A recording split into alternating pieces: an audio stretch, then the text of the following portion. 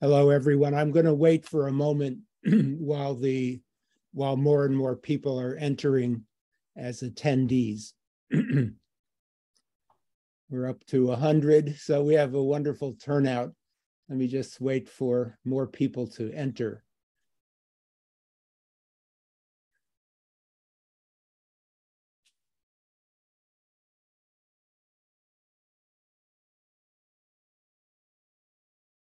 So let me uh, kick off the panel while people are still being admitted as attendees. We have a tremendous turnout today because of the importance of this topic. My name is Andy Nathan. I'm welcoming everybody on behalf of the Weatherhead East Asian Institute, which is one of the co-sponsors of this event. Uh, Taiwan has uh, always been a very important subject, uh, both uh, for uh, political science and in terms of US China relations. Um, but now, of course, as you all know, it's become a hot focus of attention in the United States. And so we're extraordinarily fortunate to have this wonderful panel of experts from Taiwan to tell us how the whole situation looks from their point of view in terms of international relations and in terms of domestic politics. I'm very grateful to them for not for traveling a long distance as they had originally intended to do, but for staying up late to inform us. You'll be able, the uh, members of the audience will be able uh, later on to put uh, questions in the Q&A tab um, and I'll uh, select some of them. I'm sure there will be very many questions. I'll select some of them to ask to the panelists in due course. And uh, uh, you could start putting in those questions now if you want and put them in at any time. So with those few remarks, I want to hand it over to Tom Christensen, who will um, introduce the panelists and keep track of time and uh, let us know when audience questions can be considered. Over to you, Tom. Thanks, Andy. Uh, it's a real pleasure. I'm Tom Christensen. I'm the director of the China in the World program at the School of International and Public Affairs at Columbia University. Um, this is our first event of uh, the 2022-2023 uh, academic year, and we're really pleased to have you all. We have an exciting uh, set of speakers this, uh, this term, and I encourage audience members to join those other sessions as well. Uh, we have a very uh, fine event today, uh, a Taiwan update uh, discussing the local elections and cross-strait relations at a very critical time for uh, cross-strait relations, for US-China relations, um, and for US-Taiwan relations. Uh, we have a very fine panel and I want to introduce the people involved. But first, I wanted to thank Julie Kwan at the Weatherhead East Asia Institute for all of her good work and organizing this event and to thank uh, Dean Su from uh, Taiwan, uh, Taiwan University for uh, co-hosting uh, this event. And I start my introductions of the panel with Dean Su, who's the Dean of the College of Social Science at National Taiwan University. And everyone knows that NTU is a leading academic institution, not just in Taiwan, but in Asia and the world. And we're really honored by his presence here um, today. Uh, we have uh, a former Vice Minister of National Defense, uh, Admiral uh, Yeong-Kang Chen, um, uh, who's going to give us a talk in, in, a, in a, little while um, on some strategic issues. And we're really honored by your presence, Admiral. I just point out that uh, before becoming Vice Minister of Defense, Admiral Chen was the commander of the Republic of China Navy. We also have Min-Hua Huang from uh, the Department of Political Science at uh, National Taiwan University, uh, working with Dean Su. Um, welcome. And we have uh, Eric Yu. And Eric Yu, um, uh, uh, Eric uh, Qianhua, Yu, he, he, he is, um, he, I'm sorry, yeah, so he is um, the returnee to Columbia University. We're welcoming home, although it's electronically, because he is uh, he is a PhD in political science here uh, at Columbia University. So welcome back, Eric. Uh-huh. Uh, we have Yeh-Chung Lu uh, from uh, National Chengchi University, uh, which many know is a, a leading um, uh, institution. He, he works alongside Eric uh, at National Chengchi University. Um, it's one of the leading uni universities in Taiwan, and it focuses on political, international, domestic political affairs. And um, if any of you in the audience are scholars and uh, travel to Taiwan, I strongly urge you to visit National Chengchi University, which was my first host in Taiwan back in 1990. Um, Andy Nathan, you know, he's the class of 1919 professor of political science here at Columbia University. He's world famous and probably needs no uh, further introduction. And I just wanted to uh, thank everybody for coming. Uh, you can see that we have a very prestigious panel. Uh, we have a great event in terms of topic. And I wanted to turn it over now to our co-host, uh, Dean Hong, um, who was kind enough to co-host this event and to participate in the panel today. Dean Su, over to you. Okay, thank you, Professor uh, Nathan and Professor Christensen. Thank you very much for your hosting, co-hosting this um, wonderful event at really critical moment on this topic. And uh, uh, thank you for your invitation. And we are really glad to have um, uh, to have this opportunity to share with you our views and analysis of the subject, which is now really critical, not only to Taiwan, the Strait, but to the region and even to the world. And um, we like to share with you our views and also to discuss with you and listen to you. And now on behalf of the College of Social Sciences of National Taiwan University and also the team at Taiwan for this panel, I express my gratitude and pleasure Thank you. We hope a big success for the discussion and the following presentations. Thank you very much. Thank you. Thank you. It's over to you, Admiral Chen, for uh, your, your opening uh, comments, and we look forward to uh, learning from you. Thank you. Uh, good morning to our distinguished participants in the United States. I really consider this as a great honor and a pleasure for me to attend this very important event. Thank you very much. Allow me sharing my observation of the recent situation developed across Taiwan Strait, especially uh, after Speaker Pelosi's uh, short visit to Taiwan and the PLA immediately conducting so-called coercive operations and uh, joined military exercise surrounding Taiwan in response. Uh, actually, tension still very high recently, and the PRC clearly intend to change the status quo uh, planning for a blockade or invasion of Taiwan has long been the highest priority uh, for the PLA's military strategy. Also, the PRC's continued investment and improvement in the anti-access and area denial capabilities designed to prevent the US forces from uh, projecting power into the region to support or defend Taiwan we're all aware of the PRC's goal really are so-called peaceful unification, but never rule out the use of a force. Next page, please. Uh, let, let, me use uh, Ukraine situation as example to compare. Uh, very, very little maps can show uh, the Ukraine and Taiwan in the same chart. Uh, actually, we admire and respect their people's strong defense well. That a supporting country can you know hold until today over uh, 222 days. I believe the winter before winter's coming will reach it to a turning point, the ceasefire agreement. Uh, Ukraine is a landmass country compared to Taiwan. The size is about almost 16.7 times bigger than Taiwan. So the, the war um, situations is totally different from Taiwan. Ukraine is a so-called uh, airlock landline of communication. They have, uh, I mean, the uh, 20 some thousand miles of uh, uh, railway and road connect to their friendly nation, six countries. So uh, the supply support from European country can uh, continue provide to Ukraine, you know, in, uh, insist to again uh, defeat a, a, Russian invasion, but Taiwan is uh, totally different. Uh, we are heavily relies on the SLOC, sea line of communication. 98% of energy relies on import, over 85% of commerce through the sea lanes. So this is a, a totally different uh, case. Next page, please. Uh, next page. Yes, Uh, I, I, like to use this uh, view back to the previous one. Uh, yes, I like to use this I mean, the view graph to explain uh, what the current situation we are facing now.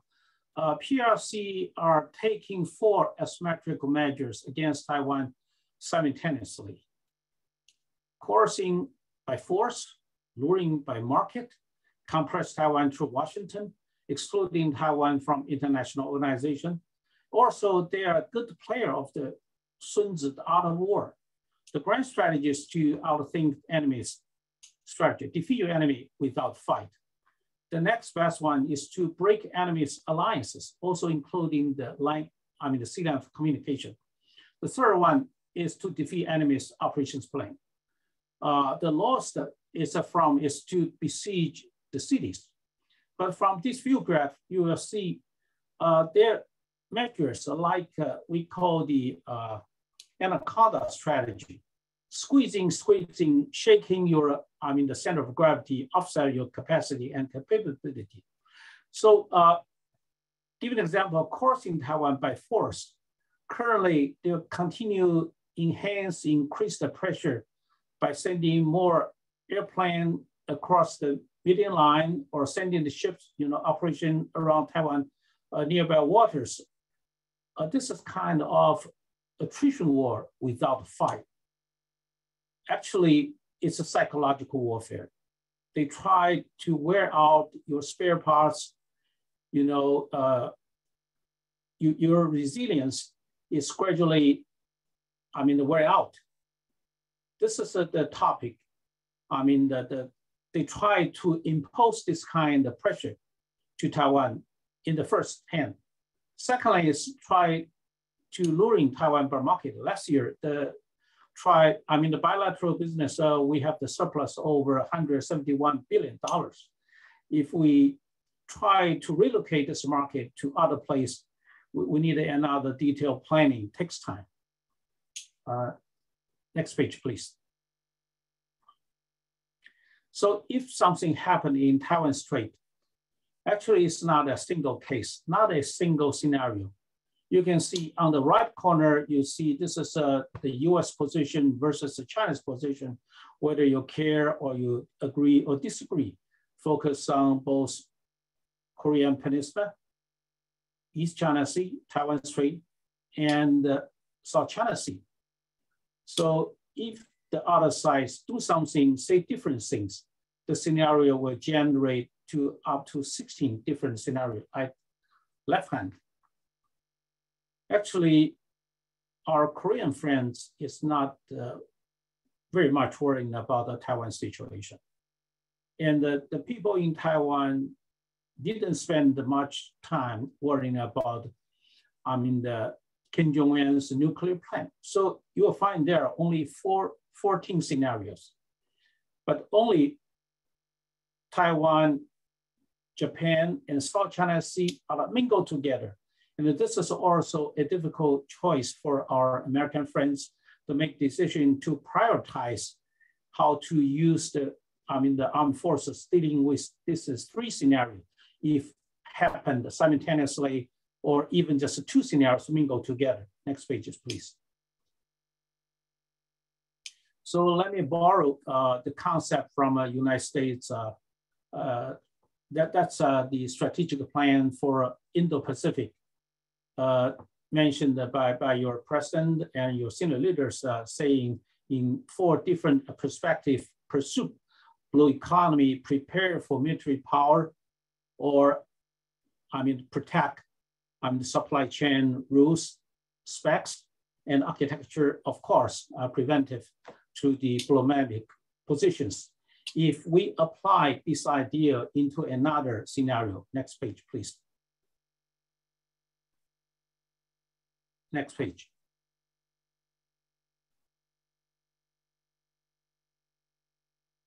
Next page, please. Well,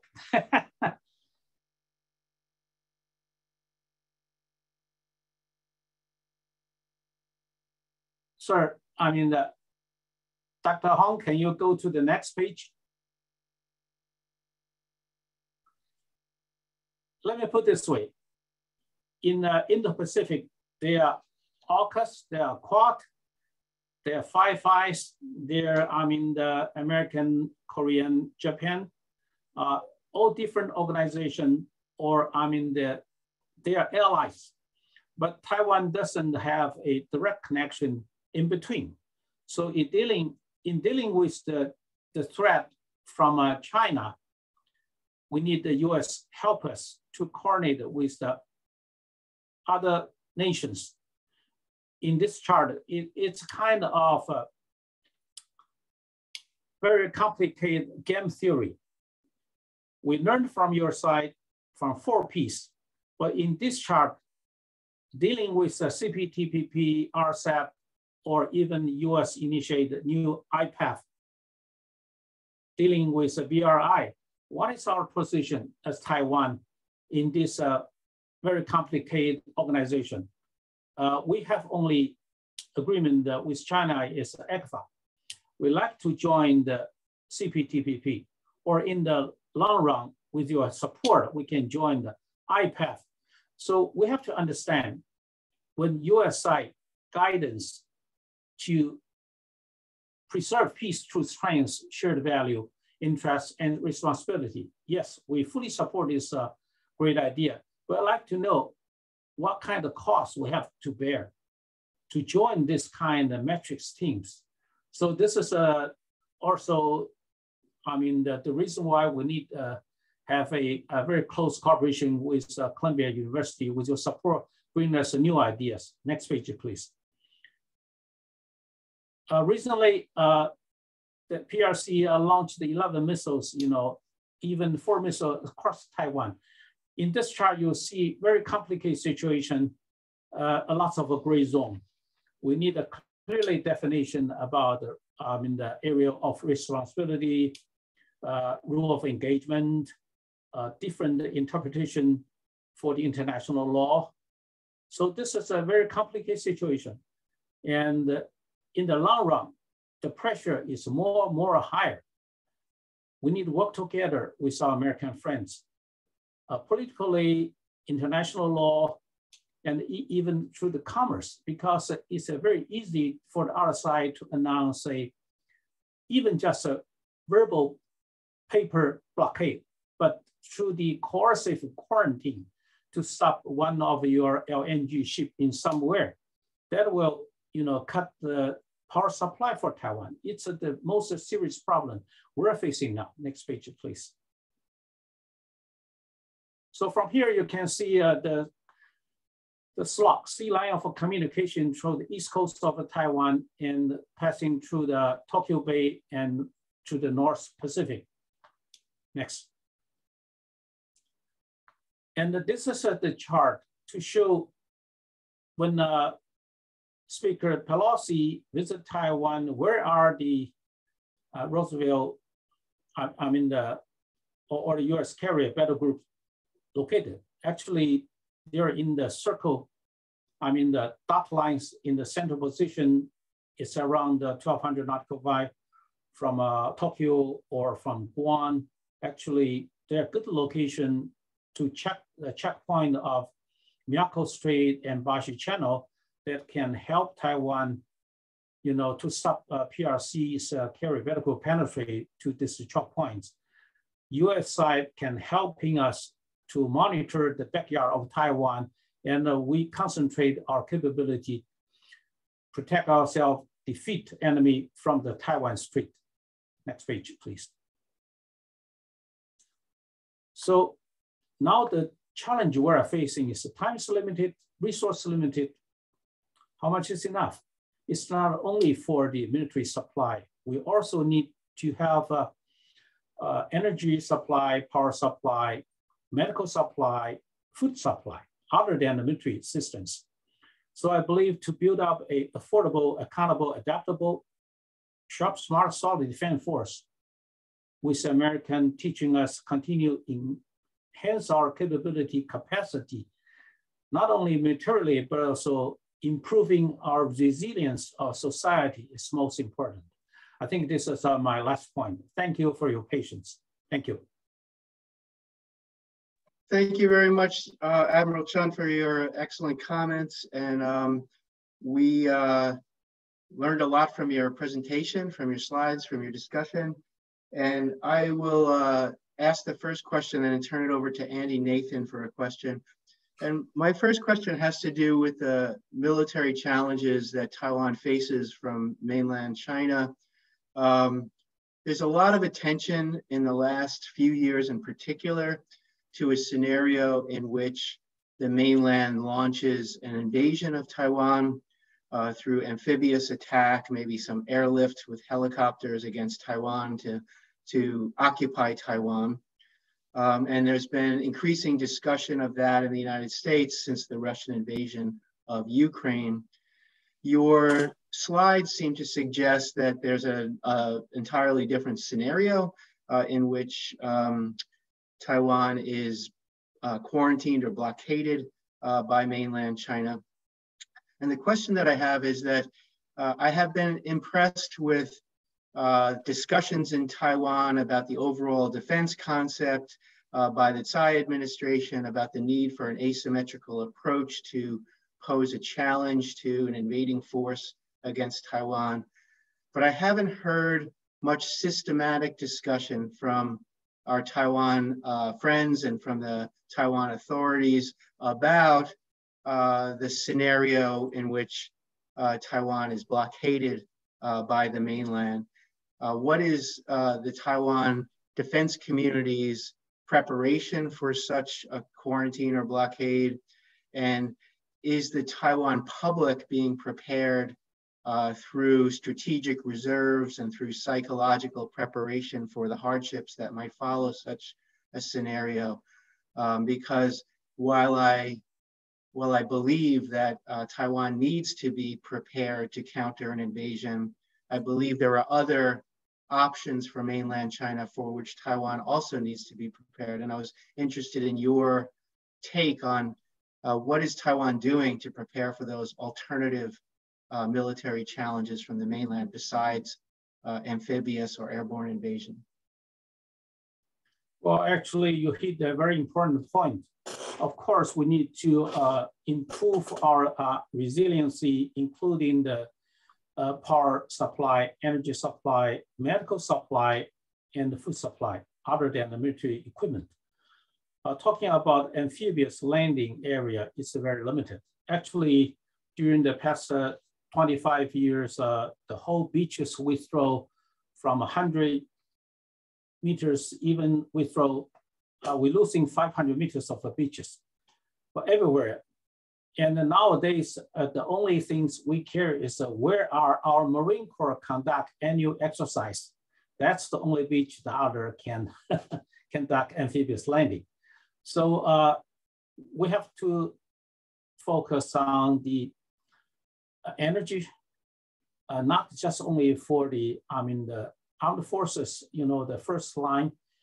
For sure, we have the confidence we can defeat in several battlefields but we just cannot afford a full-scale invasion. That means we cannot afford a war. The PRC, they may win the war, but eventually they will lose the peace in the whole area. That, that's I admire our American friends try to all the efforts to maintain the peace, secure the peace. But still, the question is, uh, what's the cost? We need to share, we have to bear. This is a, I mean, the very complicated situation. If really happen, like the worst case, everybody's a loser. With better to, you know, deterrence or build up strong deterrence to diffuse crisis before the worst, you know, happen. And the uh, Air Force, Navy, Army are still focused on training not only for the conventional defense system, but also adopt a new concept asymmetric warfare concept by using different uh, platform weapon system, you know, new uh, doctrines. It takes time, you know, at least uh, two, three years.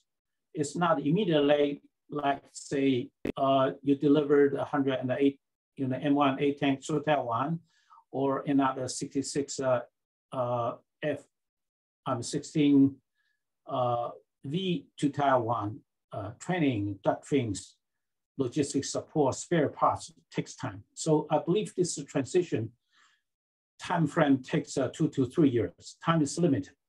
You know, time is limited. Yes, this is the point I can respond to you. Thank you, sir.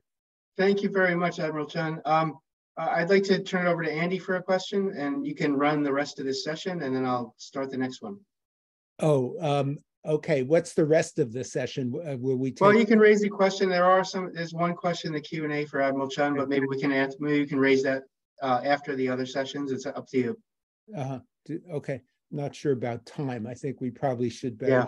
run on to. Okay. Okay, so um, yeah, so my question would be, and it relates to what you've just said now, but has to do with the will to resist on the part of the civilian population of Taiwan. So we've seen in Ukraine this amazing and I think unexpected will to resist on the part of the Ukrainian people. But as you pointed out in your first slide, the geographic situation is very different. Taiwan is an island. So if uh, and as Tom said, you may pre-position a number of resources, but um, if there's a blockade or, or an invasion, and I know those are two very different scenarios from the point of view of this question, but just in general, I've heard two things. One is that the Taiwan people are fierce, they will resist. If, if the mainland occupies Taiwan, they will never control it. The other thing I've heard is the Taiwan people are middle class. They like air conditioning and electricity, and they can't survive for very long. And if there's a blockade, and that and if that blockade is not lifted very fast, they will surrender. So, what is your own assessment of the will to resist of the people of Taiwan? Well, uh, first of all, I'm pretty confident with the people living in Taiwan we uh, treasure our democracy system. But uh, like uh, I mentioned previously, indicate because the size is totally different between Ukraine and Taiwan. If we take uh, Ukraine as example, all the 10 large cities being hit by Russian, I mean, either by rocket or uh, by bomber or artillery, you put the case into Taiwan, the collateral damage will cost the total from Keelung to Kaohsiung, the old city will be destroyed. So the people does not have the place to engage a suburban warfare. We do not have this kind of space to accommodate the refugee from older youngster, but but the young men, they are pretty much like to even sacrifice their life to defend our own country, maintain this democracy system. It's a very strong will to defend Taiwan. So we have to take a different approach. First, uh, prepare more spare parts, like uh, medical supplies, energy supply, food supply, then the military equipment. That will support us, can uh, hold a long time until or our allied countries come to support us because uh, we do not have other line, only sea lands of communication. There's no land traffic. The other country can support us. So from the very beginning, we have to accumulate enough spares in dealing with this kind of threat. Thank you. Thank you very much. I think we should have to move on to the next uh, set of presentations. So we can save those questions perhaps for the, for the end. Okay, that's a good idea. So our, our next uh, panel is on stakeholders' perspectives. Um, and uh, we have a very good panel of four speakers, uh, including Dean Su, who you met earlier, uh, Yeh-Chung Lu uh, from National Chengchi University, uh, Eric Yu from National Chengchi University, and I like to say Columbia University as well, um, and uh, Min-Hua Huang uh, from National Taiwan University uh, alongside uh, Dean Su. And we'll go in that order, and I'll turn it over first to Dean Su, and if you could turn it over when you're finished to, uh, to Dr. Lu, that would be terrific. Thank you very much, Professor Christensen. And I try to share with you just one slide. Okay. So can you get it? I suppose yes, right? Yes, we got it. Okay, okay. Uh, and good morning and good evening. um, I just share with you following Enemy Rosen um, excellent presentation. I just share with you the two observations. First is the importance of Taiwan at the juncture of the so-called Asian Mediterranean. On this slide, you can see on the right hand, I just show you the strategic importance of Taiwan. In terms of geopolitics, the Sea of Japan, Yellow Sea, East China Sea, Taiwan Strait, and South China Sea all together constitute an Asian Mediterranean as shown on the map, isolating the continental Asia from the Pacific Ocean. One could even argue that without Taiwan, China as a whole is strictly geographical terms and not a Pacific country, as none of its provinces bordered directly the Pacific Ocean. The first island chain locks off China from the Pacific, which would implicitly exclude, exclude China from the general concept of Indo-Pacific. Narrowly, in the Asian Mediterranean, Taiwan is located exactly at the juncture, right in the narrowest part that connects the South and East China Sea. In terms of political culture, Taiwan is not only a free society with a market economy and a vibrant democracy based upon the rule of law, but also a Chinese society with strong traditions. Taiwan also plays a key role in the global supply chain, shown now well um, by its importance of producing the semiconductors in the world. So altogether, Taiwan's geographic position, political identity, cultural linkages, and industrial strength all have contributed to the emerging strategic juncture of Taiwan in this Asian Mediterranean in the Indo-Pacific of the 21st century. So that is my first observation. So that means the position of the juncture is not only a geographic uh, position, but also a political cultural position and uh, economic position. Second, over the past uh, four years, we witnessed the rising tensions in Taiwan Strait, uh, now becoming one core issue on the global agenda. And this de-Taiwanizing Taiwan Strait uh, is presented with five characteristics as shown on the left side of the slide. And first, I call that internationalizing. Taiwan Strait was a concern of US and uh, Japan and some powers policy, but it did not uh, on the top of their agenda for a long time until very recently when G7 issued a joint statement mentioning their concerns about Taiwan Strait tensions.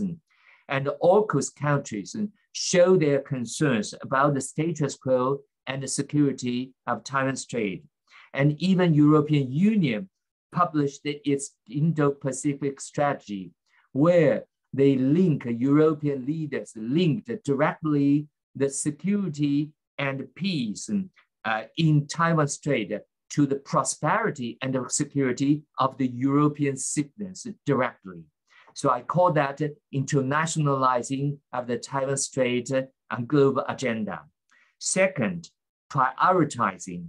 Taiwan Strait was not on the top, but now the rising PRC and increasing disputes between the US and China have prioritized the Taiwan Strait on their diplomatic agenda. Third, I call that domesticalizing. As the rising PRC with its more assertive war, war-style diplomacy, a more authoritarian domestic control, and even a closer relationship with Moscow has alerted the West, making the relationship with China or the attitude, even personal or party's attitude toward Beijing, now an issue in the elections. As a result, those statesmen that believed to benefit from adopting more hawkish attitude toward China can manipulate or use the situation in Taiwan Strait for their own purposes. Taiwan Strait now have become an element in some domestic general elections of some countries. Fourth, ideologicalizing. The Taiwan Strait median line now is not only a division of two politics, but also now a boundary of two worlds, democracy and authoritarian world and even dictatorship. To support or not support Taiwan vis-a-vis -vis the rising tensions in the strait has become not an interest-driven issue, but a moral issue too. And this ideologicalizing of the Taiwan Strait issue has made any compromise, detente or de-escalation of the tensions Taiwan Strait more complicated and even more difficult. Fifth, last but not least, intertwining with other geopolitical issues, the Russian invasion of Ukraine has alerted the world, particularly the West, of those potentially dangerous regions of fault line countries and linked this war, for example, to the rising tensions of Taiwan. And conclusion, with this rising importance of the juncture in the Asian Mediterranean and the internationalizing and de-Taiwanizing Taiwan Strait, what's for? For Taiwanese, is this de-Taiwanizing Taiwan Strait in Taiwanese interest and contribute to peace and stability of the region? It seems pretty problematic and uh, we have to discuss and need more options. Thank you. Thank you, Dean Su. I'm going to turn it over now to Professor Lu uh, from uh, National Jung from from uh, National Chengchi University. Yes, uh, thank you, uh, Professor Christensen. Uh, first of all, I would like to express my gratitude to Professors Nathan and Christian Christensen for hosting this event. And uh, thanks to uh, Dean Su for uh, inviting me to join uh, our uh, Taiwan panel. Um, for my uh, job here is trying to explain Taiwan's general public's view of the United States, especially in the aftermath of Speaker Pelosi's visit to Taiwan.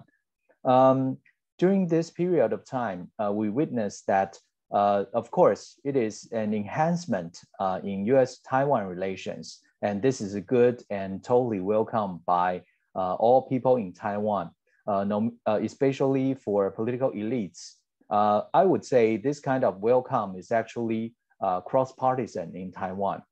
Um, however, um, throughout uh, latest surveys conducted by different institutions in Taiwan, I noticed that um, there were a lot of interrelated questions reveal certain kind of um, uh, public opinion that might be a little bit ambivalent uh, on those issues. Uh, so let me um, provide some of uh, my observation to, to, all, to all of our audience. Uh, I actually reviewed the surveys from uh, the Chinese Association of Public Opinion Research, the Taiwan Public Opinion Foundation, and also um, Commonwealth, the magazine and also Global View Monthly, uh, etc. And uh, I found there were five interrelated uh, questions. Uh, Taiwan general public's res respondents to that uh, is quite interesting. First of all, uh, when it comes to the question of the likelihood of China's invasion in the short term to Taiwan, uh, more than 60% uh, of the respondents said re replied that they do not worry about it. And along uh, in this line of reasoning, when it comes to the question of, are you worried if in the long run that uh, PRC is going to exert uh, its force uh, for unification? about 58% of the respondents replied they, they think this is not likely. For the second question, uh, also very, very interesting. If uh, China's invasion occurs, will the United States come to Taiwan's rescue?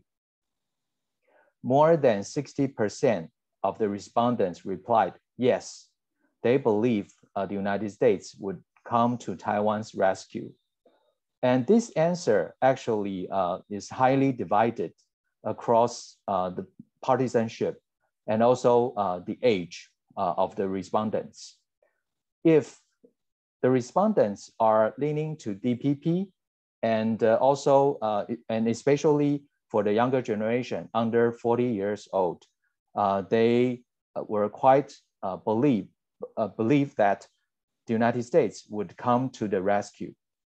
However, this question, um, Taiwanese general public's view on this is also shaped by the Russian's invasion of Ukraine uh, in February. Right after the Russian invasion of Ukraine, the number dropped to 35% in March. But it gradually comes back to 44% in August after Speaker Pelosi's visit. The fourth question that I also found very interesting is whether Taiwan should be choosing sides between the United States and China. For about 64.2% of the respondents replied they want to they want Taiwan to maintain friendly relationship with both sides, with both the United States and China.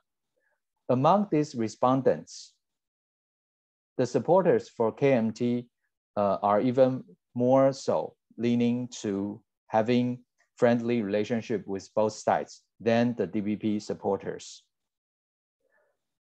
The fifth question, uh, also very, very interesting and highly related to Admiral Chen's uh, presentation earlier. It is about Taiwanese people's self-confidence in Taiwan's military capabilities. For the respondents, however, about more than 60% of the respondents replied that they have no confidence in Taiwan's military capabilities, even though the majority still uh, consider themselves have the willingness to defend Taiwan. Among these questions, it is also noted that it is quite uh, divided among partisanship.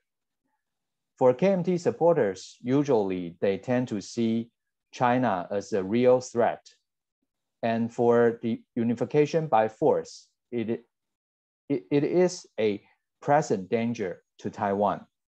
However, for DPP supporters, usually they think uh, it is very unlikely for China to invade Taiwan one way or another in near term or mid or even long term. However, for DPP supporters, they have stronger belief in that the United States and in some cases, Japan would come to the rescue. So this kind of public opinion uh, polls revealed how divided and polarized Taiwan's, Taiwan society is right now. So to me, my observation is maybe we need to think about two things in the future.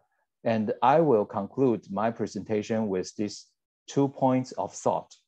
First, complacency breeds contempt. Ambivalent, if not polarized views of the general public as reflected on the issues over likelihood of Chinese invasion and over the US role as mediator, mitigator, or guarantor varied over time and political spectrum.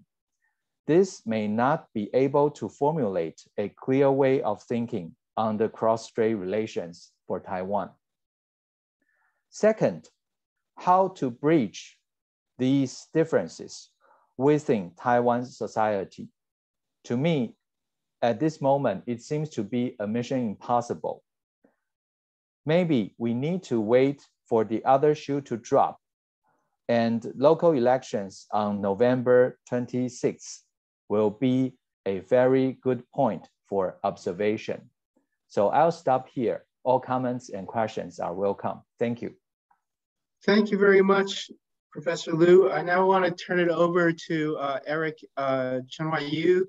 And I, I also wanted to point out that he is at not just at National Chengchi University, but he's also um, at the um, at the Election Study Center there. So he's particularly qualified to discuss our main topic today.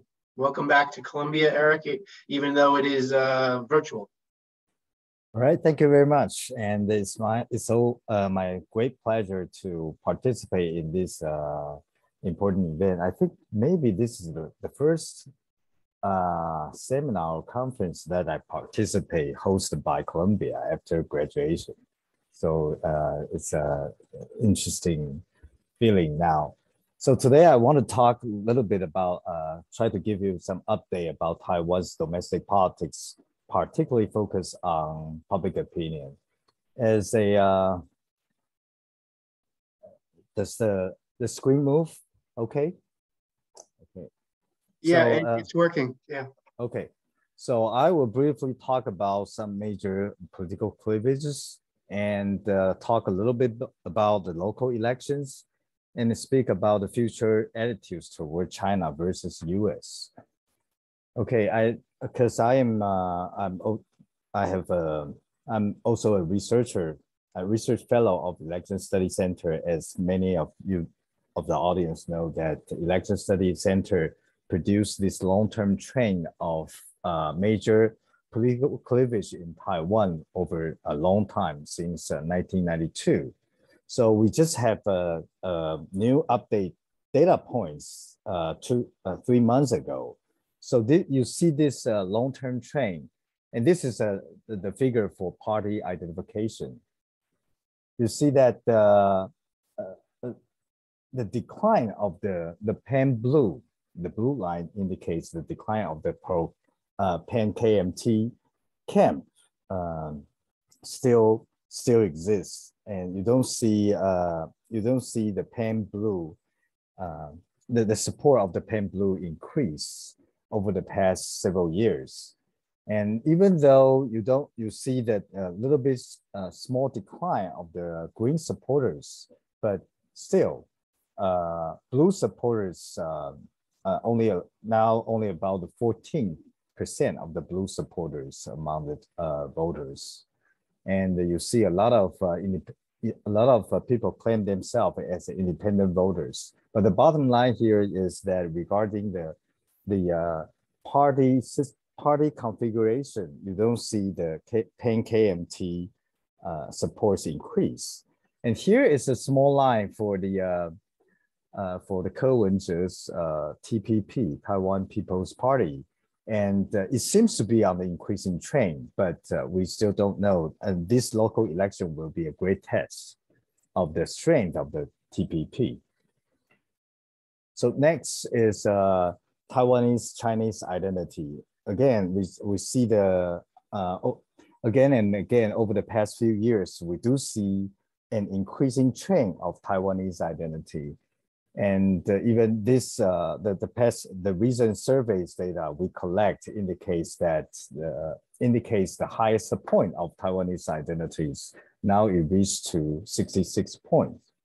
And uh, the dual identity, we, in the sense that some people claim themselves both Taiwanese and Chinese, remain like one third of the uh, of the uh, general public. So uh, we do observe um, an increasing trend of Taiwanese identity, and now it's up to the highest point. Next one is uh, attitudes toward cross-strait relations. And there is a big jump on a uh, big jump of support for uh, independence, uh, particularly during the um, years of two, 2020. Uh, and this is, we we hypothesize that this is mainly because of the Hong Kong incidents, and uh, and you see the big jump over here uh, from uh, 2018 to 2020s, and then it remains uh, kind of stable. So now about 30% plus of the uh, general public supports uh, Taiwan independence, even though maintain the status quo still the majority uh, it's still over 60%. But uh, this is a, but the, the big jump of pro-independent supports uh, uh, kind of is kind of a major feature over the past few years. And this is a question somehow related to Yeh-Chung's uh, um, Ye Zhong survey, but uh, I try to give you longitudinal data and it's about the conditional self-defense determination. The bottom line here is that no matter uh, Taiwan declared, uh, announced independence caused the mainland China to use force against Taiwan, or uh, mainland China uh, uses force against Taiwan for unification, the majority of the peoples uh, wants to uh, defend them, ourselves. The majority of the Taiwanese wants to defend ourselves. And even though there are some kind of difference, difference in terms of the degree of supports, but the bottom line is the majority, over 60% of the people wants to uh, fight for Taiwan. So about next about the local election, um, even though some people argue that local election could be a, uh, a test for the for uh, future um, uh, future uh, central government elections, but that kind of referendum theories really hold rarely holds. I just uh, conduct uh, um, longitudinal analysis, and it indicates that the major factors that affect the local election result is the local government's performance. So all politics is local, seems to be held in Taiwan. And for this, uh, for the upcoming elections, um, I think we should focus on six metropolitan areas because uh, those areas areas are consist of 70 plus of the population. And two major battles. One is the Taipei City uh, mayor election. That's a three-way race.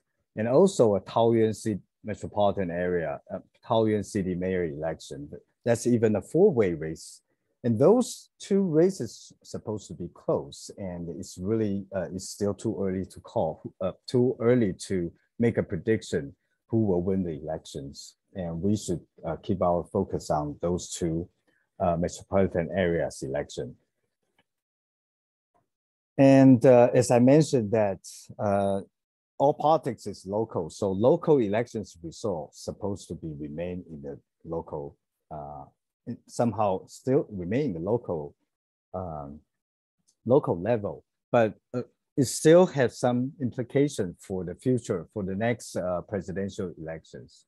So I will say that if DPP loses both key battles, of course, President Tsai will become a lame duck president and we will observe multiple candidates from the DPP will emerge. And if DPP wins both key battles, uh, Tsai, President Tsai will have a strong influence on determining her predecessors in the, uh, in the 20, uh, 2024 presidential election. And if DPP lost one and wins once, and President Tsai will still be a lame duck, but it depends on the winning and losing margin. That's my uh, uh, my take for the regarding the implication of local elections. But on the opposition side, it's still unclear. So uh, let me go to my final parts. In after the 2020 uh, presidential election, we had a face-to-face -face surveys about people's attitude toward China versus US. And the result clear indicates that the, the positive uh, positive numbers means uh, favorable attitudes. Negative numbers uh, indicates uh, unfavorable attitudes.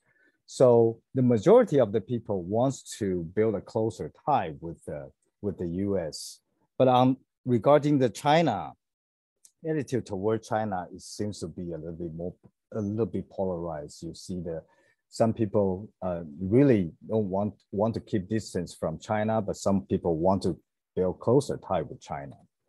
And then I will skip these parts. The bottom line is here is that from the 2020 surveys, we do see that pro-US attitudes is greater than pro-China's attitudes among the general public. And, and over the past two years, we do see that the Taiwan and the US try to build even closer ties. That somehow reflects uh, uh, people's attitudes. And even though there are some differences among different age groups or partisanship or among a different political cleavage. But uh, I think the majority of the Taiwanese are have a stronger pro-US attitudes rather than uh, strong uh, pro-China attitudes. And because of that kind of attitudes uh, re regarding the uh, 2024 presidential election, I don't see uh, much chance to elect a pro-China president in 2024. That's my final take. I will stop here. Thank you, Dr. Yu. And uh, our final speaker uh, in this panel is Professor Min-Hua Huang uh, from uh, National Chengchi University Department of Political Science. And I will turn it over to you, uh, Professor Huang. Okay, um, it's good to be here. Eric, could you close your sharing?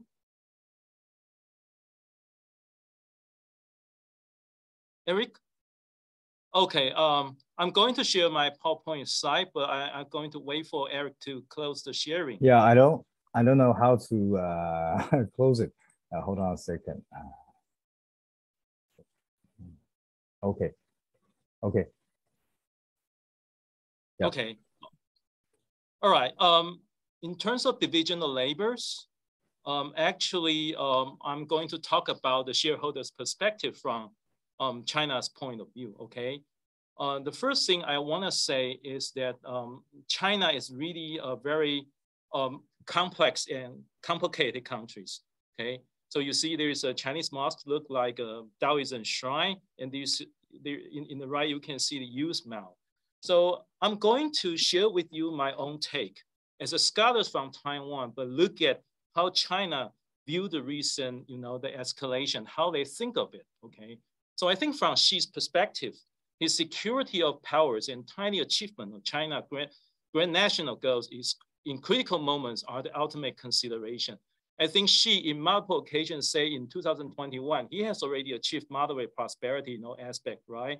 But in 2035, he got he, he got to realize the socialist modernization, as well as in uh, 2049, he going to realize the uh, the Chinese string of great Chinese national rejuvenation. So all those are the promise to the Chinese people. So unifying Taiwan is an important goal, of course, but there are, there are lots of other important goals as well. These goals are interrelated, so achieving them in a balanced way with a proper pace. The key word is proper pace is essential to Xi's journey to success. So which means if you attack Taiwan now, but uh, you will make your economy back to, you know, to 1990s or 2000, early 2000, then it won't change, it, will, it won't achieve that uh, great, you know, Chinese rejuvenations, right? So all those things are interrelated. The bottom line to the Taiwan issue, I think, uh, we need to think about what define the red line for, for, for, for Taiwan issue, okay? And could China achieve this goal alone? And also, what is the cost benefit calculation of the grand national goals if achieving this goal too soon or too late at a particular moment? What I'm saying is that I think China, at a particular moment, they have priority in their mind, and also uh, the, the due pace they should, the, the due progress they should achieve. So all those things you got to remember is that when China uh, facing with all the uh, situation, how they will go, how, how, they are going to respond. I have three observations. I think the first uh, regarding the Taiwan um, issue, sovereignty and US commitment to defend Taiwan militarily is the red line it hitting those two points, which, which China got to respond, okay? And I think China in 2019, particularly in the New Year's talk, Xi has already proclaimed he's going to pursue uh, unilateralism in managing the cross-strait issues, okay? And China, uh, for the past several years, neglects Taiwan and, and the Taiwan authority, Taiwan's government, but gradually doubts US credibility as reliable chess player. I, I mean, for the Biden administration, I think, um, you know, uh, China has a high hope, but let down a, a, lot. In recent negotiation, they found that the uh, Biden probably won't be able to be a credible, you know, the, uh, the ne negotiator. So this is a big problem for China. So China need to achieve comfortable gains if encountering, if encountering challenges. For example, uh, erasing the imaginary median line in the cross strait is a good enough deal to respond to Pelosi's visit in Taiwan. So what I'm saying is that when China feel being challenged or they, they, they, they feel they lost something, okay? For example, like this time, uh, the Pelosi, a lot of uh, the, the delegate team, US delegate team actually visiting Taiwan and kind of a stepping the, the, the, the red zone. So China trying to, to, to, to, to, to gain something back in order to justify that they're still in charge, still in control. So I think right now it's still an ongoing chess game between China and US. And China kind of see, perceive Israel in playing defense um, rather than offense, okay? So that's taking the Taiwan Policy Act as an example. It's quite revealing that US also understand China's red line, okay? On the issue of sovereignty, US military engagement. So you can see for the past two days, the, uh, the US administration kind of uh, played down those two you know, were hitting the red, red line, kind of um, the, the points and, and when, when, they, when they agree with the, uh, the, the bill. However, the proposal of the bill itself and its timing is likely to be viewed as a gaming strategy to exert maximum pressures on the eve of 20 party Congress for Xi's power consolidation. I, I think for China's perspective, uh, they are under siege and they are being taken advantage uh, during this critical moment. This is for China, they are trying to defend. I think China might further react to the pass of the Taiwan Policy Act, okay? But in a way that she thinks manageable. For, for instance, continuing demonstration that China can unilaterally resolve the Taiwan issue through intensive military exercise. So I think they will keep doing it. And even no matter how close to the uh, 20th Party Congress, they were still doing it, okay? Even doing it harder or more, uh, you know, frightening to Taiwanese people. However, I think they still hold on the strategic patience, okay? So all those is, is going to demonstrate that they have um, capability unilaterally instead of real uh, trying to taking over Taiwan, okay? And I think meanwhile, China will seriously assess the pros and cons for the possibility of resolving Taiwan issue via different scenario. It's going back to Admiral Chen's a lot of scenarios, maybe blockade, maybe, you know, taking certain offshore island. There are a lot of different strategies they can uh, achieve the same result, causing the, the panic in the island.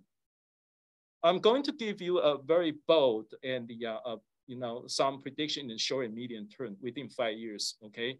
I think China is going to strengthening out all the parameter in the US-China rivalry, particularly after US 2024 presidential elections, because um, I think the Biden administration really let down China. China wanted to have a credible, you know, the, uh, the, the, counterpart. They, they can negotiate, can manage close trade relationship.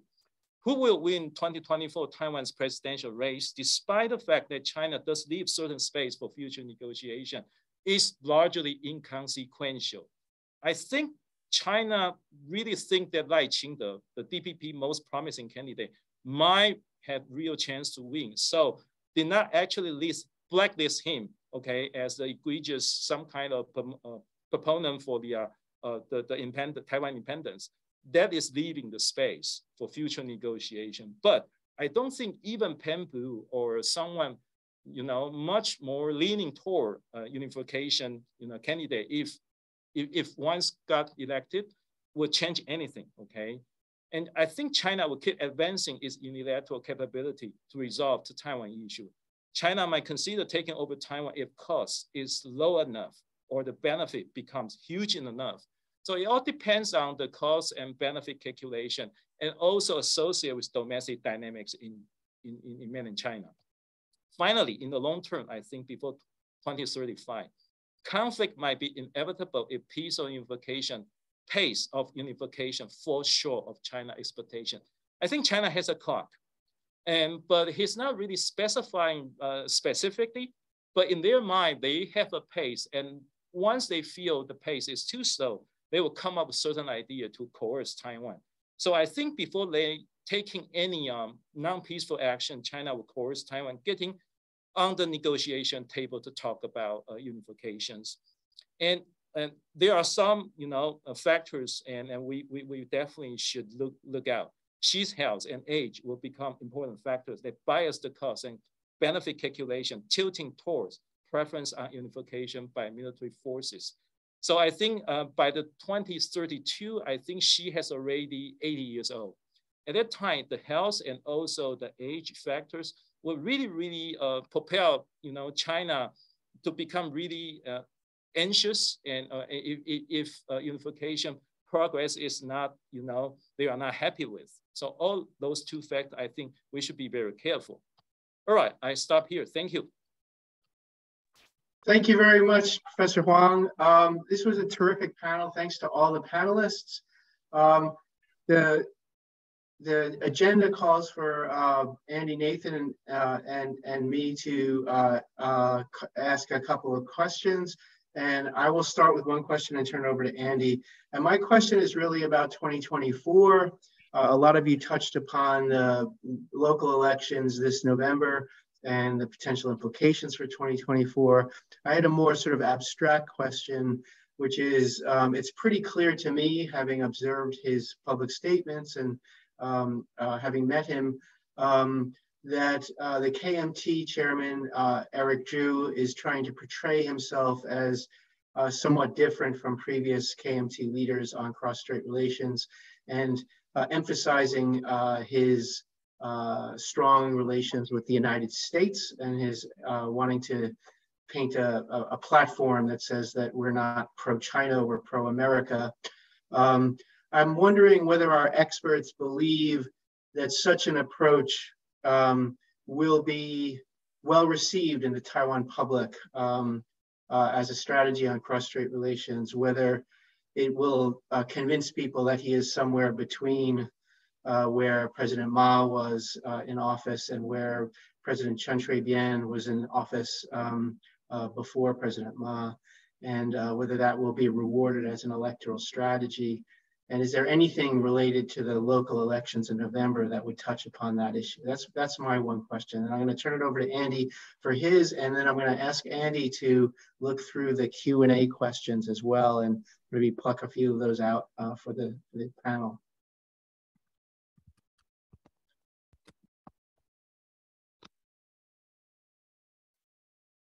Um, well, you, uh, we want to. Andy, get... why don't you ask your question now, and then they can answer both both of our questions, and we oh, can turn to the audience. What, I see a bunch of good questions in the Q and A, so uh, perhaps uh, your question should be answered first, and then I'm going to pitch. I can combine some of the questions from the Q and A. Okay. Yeah. So who should answer your question? I guess. So what are the fortunes of the KMT, and how convincing will this strategy be that uh, there's a kind of new KMT position on cross-strait relations? And maybe that goes to Eric. yeah, I, I will answer this question yeah. simply by show uh, one slide that I I I actually uh, quickly overlooked. And this is a slide uh, about the attitudes toward uh, US and China. And blue lines indicates uh, the, the more favorable attitudes toward China if that positive, and green line means attitude toward US. Here is the KMT. You see that KMT is kind of highly divided. So there are a bunch of people who have a strong um, uh, favorable attitude toward US and, and, and mainland China. And DPP is, is very clear, right? The, some people uh, the same people, same group of people, DPP supporters, simply favor the U.S. and have a negative attitude toward mainland China. So you see, that's kind of a, a clear, very clear for DPP supporters, but it's highly divided for the KMT supporters. That's why it, even though uh, Eric Chu tried to move, shift uh, KMT toward uh, favorable uh, toward U.S. But again, in in my opinion, the KMT on that issue is highly divided. So it's still a long way to go for Eric Chu if he wants to do so. Okay, thank you very much. I think I think we should really get the audience questions on the table. And um, Andy, I'll leave it leave it to you to try to uh, coordinate those questions and maybe combine a few. Um, yeah. And over to you, Andy. Okay, let me try to combine a few. So first, uh, since we have Eric uh, answering questions, um, let me ask a few. So um, Judy Liu uh, wants to know how Chinese identity is defined in your survey because there are different meanings of the idea of uh, Chinese identity potentially. Uh, it could mean identifying with the PRC. It could mean identifying with the Republic of China. It could mean having an ethnic ethnic Chinese identity. So how do you ask that question and how do you interpret the answer? Um, a second question, Eric, uh, from Chengchi in in Chengchi, if you have anything on this, is how the Taiwan public assess the the uh, recent military exercises on the part of uh, mainland China? Do they think it's really dangerous, or do they think it's just a bluff? And then Ziho Park asks a question also about whether the local elections matter for cross strait. I think you said that in the local elections, the, the cross strait issue is not really a deciding issue. How much does foreign policy generally, so cross strait, US, uh, and so forth, play in these elections? Do the local candidates take a position on these foreign policy and cross strait issues? Um, and does that affect the vote in any way? And then I think this kind of converges. So I'm asking a, I guess, a four-part question here. The last part of it is mine, which is um, uh, which is to say, do do the voters? So all it seems to me that all candidates, DPP and KMT, uh, do not present a clear position on cross strait. They all kind of fudge the issue. Um, do, do, the voters perceive uh, an actual policy difference the DPP and the KMT both want stability. They neither of them wants war. Neither of them wants unification. Um, do, uh, they, are they fudging, and do the voters see them as actually presenting a different position on on on Taiwan's uh, status in the world and cross-strait relations? So that's a bunch of things. Answer as much of it as you can in brief form. All right. Uh, let me uh, go to the, the first question. That's a quick question. That what's the, the, the actually meaning of the, those kind of identity? Uh, our question actually goes for goes to uh, do you consider yourself Taiwanese or Chinese? Because we start that questionnaire uh, since 1992. Uh, so I do believe that the content of the that kind of identity indeed change over time. So uh, the the uh, I do agree with that that kind of assessment, and uh, I we have the focus group on that that kind of issue. And normally, up to now, some people think of uh, beforehand. People think Chinese identity has more cultural meaning, but now it's almost uh, it's it's almost it's mainly a political meaning. So Chinese identity somehow indicates PRC's identity. But for those people who do have a dual identity, they are kind of divided. They consider themselves politically as a, uh, in Taiwanese as a political sense, but Chinese as a culture, culture sense. But again, our questions are not able to help us differentiate those two, two type of identities. The second thing about military exercise, I actually have the data about that, but it's not a data uh, owned by uh, election study center, so I will not able to show here. But uh, about the, the uh, PRC's military exercise, people in Taiwan do not uh, bother that much. And um, because I, I think because people kind of get used to that, even, but However, people do worry about that, but get used to that. That's the that's the general attitudes. The second, the third thing about the uh, the local election, as I mentioned, that the local elections now, uh, up to now, I think uh, local elections remains uh, local elections. There are not much debates about the cross-strait relations or national identity issues so far. As Andy just uh, uh, argued that the it seems to be, it seems that candidates are trying to uh, somehow avoid to take uh, clear positions on that. The only thing that you can, the only thing you can observe is uh, that the KMT's uh, candidates use ROC quite often, and uh, and uh, DPP's candidates use Taiwan more often. That's type of that's kind of a use. they tend to use those labels to uh, to paint their, themselves rather than have a uh, clear arguments about uh, future cross-strait relations.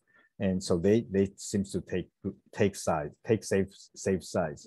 And uh, but I I do, but the bottom line here is that for the in terms of cross-strait relations issues, I uh, I don't see it's important in local elections. It's not going to be a because we don't have Hanguo that type of candidates in these elections.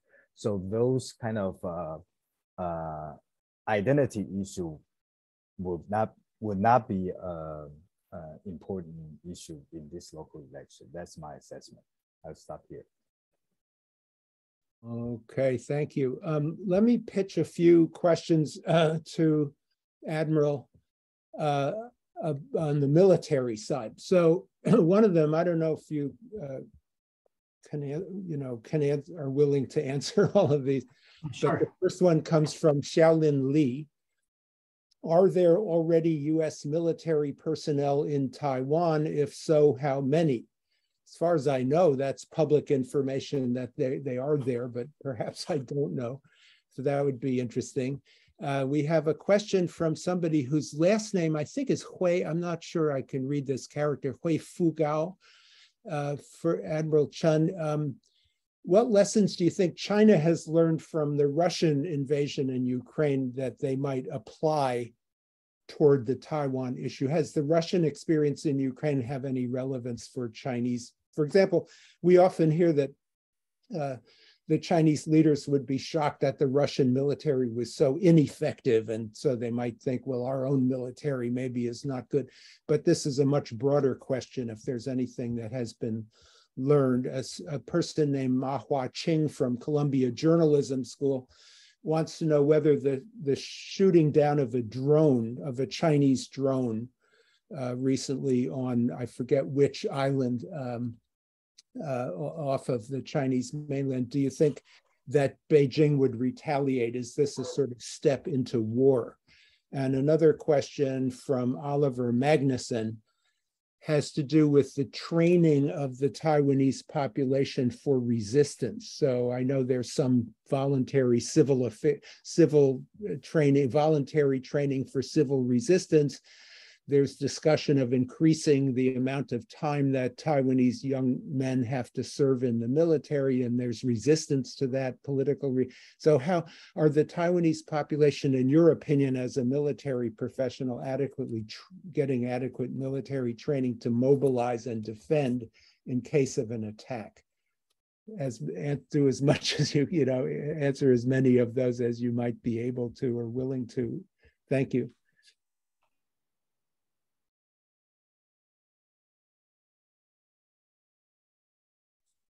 Well, the first question uh, asking how many United States uh, soldiers or uh, armed forces in Taiwan to supporting the training. You know, now I'm a private citizen, already retired for many years. I do not have this kind of figure. So uh, the question number one uh, just cannot uh, respond properly. The second, what kind of lesson Chinese learned in Ukraine? we, we have to really understand the Russian purpose is really try to, I mean, the formally uh, recognize the two independent states like uh, uh, in the Donbass area. The totally case is different from Ukraine and Taiwan.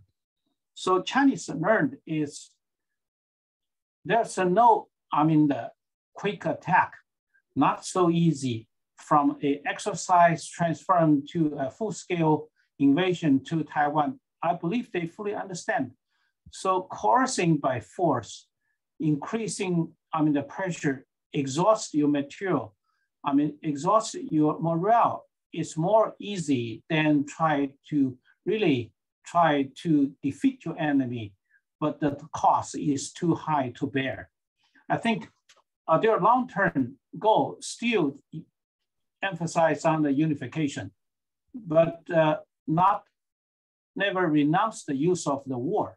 I think in short term, uh, within two, three years, uh, the, the possibility of the miscalculation or conflict still there, but the chance is very low. Uh, what is the number four question? Can I ask it again? Um, what was the number fourth is is the the sh the shooting down of a drone is is that um is that okay. going to trigger a war? Uh, okay, uh, actually, this is a, a, very, very small drone in the offshore island outside the Kinmen called the uh, Lion Rock, a small rock island. So this is another a symbolic, uh, I mean, the, uh, the conflict, uh, I mean, the, the issue will account for whether you shoot down or let it uh, on flown away. Uh, actually, uh, the other side, the civil air uh, authority immediately announced a 10 years uh, constraint, a restriction to prohibit the local people. This is a civilian toy. It, it's, it's not a military drone. So, so there, there's no reason for the RSI to engage any retaliation. A another issue also mentioned regarding to the territorial defense force. And now more people like to join this kind of training. Uh, one of the issue is that they really need to engage some uh, live fire training. Uh, one year, how many bullets they can shoot. Now they are using the tool, I mean the simulator. It's good for very beginning, but it's not enough to train a qualified, I mean the uh, territorial defense force uh, members. Thank you. Uh, great. Okay, I have a few questions for Min-Hua, I think, here. I mean, everybody might want to talk about this, but I'll just pitch these questions to Min-Hua. So, Min-Hua, you said in one of your slides that China is using faith in the US credibility, and that could be interpreted as saying uh, that, um, that China doesn't think the United States will uh, you know, the United States promised to uh, uh, defend Taiwan, not a treaty promise, but a sort of political promise that China thinks the US is bluffing and it won't defend Taiwan. But I think what you meant by that is that China has lost faith in the ability of the United States to restrain itself from exacerbating the Taiwan problem.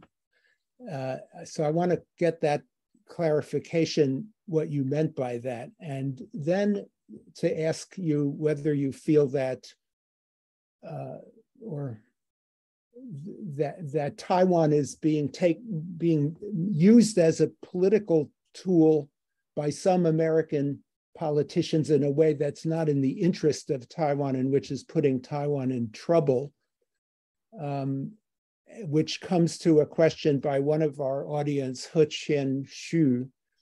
Would you think it's a good idea for the US to shift from existing strategic ambiguity to strategic clarity? As you know, there's a, a big debate over this, and some uh, people in Congress and some people in think tanks think that we should deter China by making clear that if China attacks Taiwan, we will militarily defend, which is something that the United States has not officially made clear before, even though President Biden has sort of said it, but then the State Department and White House walked back what he said. Our official position remains strategic ambiguity. Min-Hua, should we abandon strategic ambiguity? Would that be in Taiwan's interest? Okay, um, I'm going to address those three. First question, I think your interpretation actually is my meaning, which is that China kind of fed up with uh, Biden, failed to control the domestic situation that leading to escalation of cross-strait.